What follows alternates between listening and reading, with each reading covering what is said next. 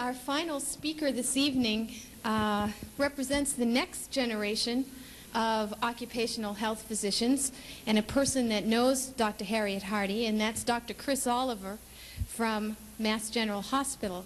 And I'd like to ask Chris to come up and say a few words. Well, it's a pleasure for me to be here tonight to honor Dr. Hardy.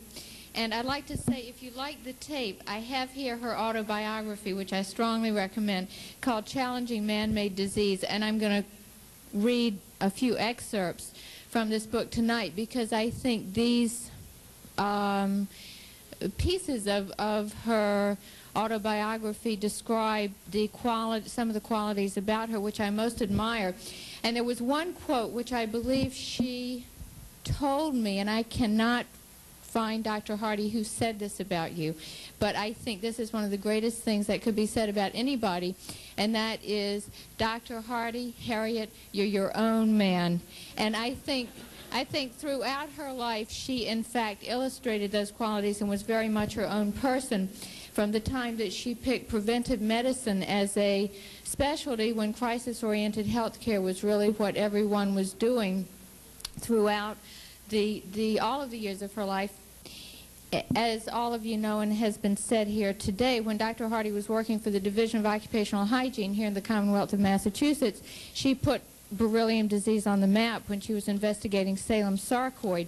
Following the publication of her article about chronic beryllium disease, she said things were never dull after this. Officials of the Atomic Energy Commission, then known as the Manhattan District, came to see me when the article was published in the fall of 1946. They suggested that if I were right, they were in trouble. And of course, used to speaking the truth, I said, well, you are in trouble.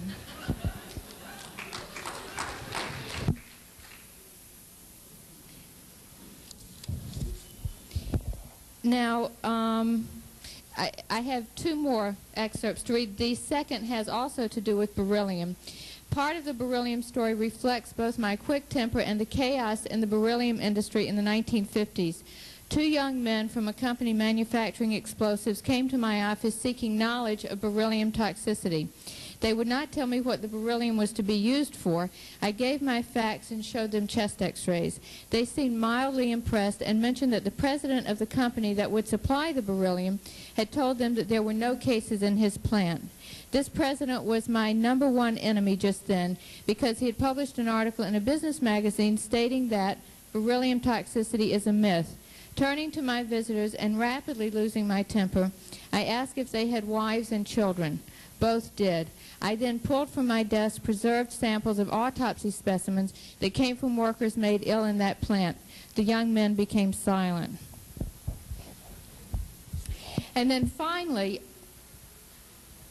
because many of us here do medical legal work, I do medical legal work, her thoughts and experience with regard to the area of medical legal uh, issues was of great interest to me. And um, I quote from her as follows. This work began for me in 1953 and continues in the form of writing position papers and giving advice by telephone to patients, lawyers, and doctors. One day a sheriff came to my home while I was away to deliver a summons for me to appear as a witness at a so-called hearing before the Industrial Accident Board. My mother, living with me at the time and awed by the legal papers, took them. This was a mistake. For a fee of $2, such sheriffs are expected to give the summons only to the witness named. Without legal advice at that time, but never since, I went to the hearing as a witness. This means that I was legally bound only to read out of the record the worker was dead, specific facts such as pulse rate and laboratory findings, but I was not expected to interpret or give an opinion of work relationship, the crucial factor. Not knowing this, I answered questions put to me by the insurance company lawyer who had a medical text open on his desk and asked me to discuss cirrhosis of the liver, the worker's disease. I began, but he interrupted, saying, Dr. Hardy, that is not what it says in this book. I promptly lost my temper, which had been oozing away for the last few hours. In a loud voice, I mentioned that my medical education at Cornell was far superior to his use of a sentence in a text. On and on it went until the commissioner ordered us to stop. In the end, my side, that of the dead man, won. I, like a winning prize fighter, went to the opposing lawyer, shook his hand, and invited him to lunch with me at the MGH to discuss the case.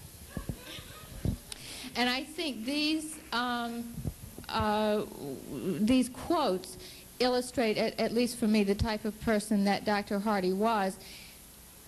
In addition to admiring about her the fact that she was and continues to be her own person, as someone who takes care of patients, her dedication to the care of the individual patient, as well as her relentless pursuit of the truth, looking at groups of workers, has been very important to me in my own practice of occupational medicine.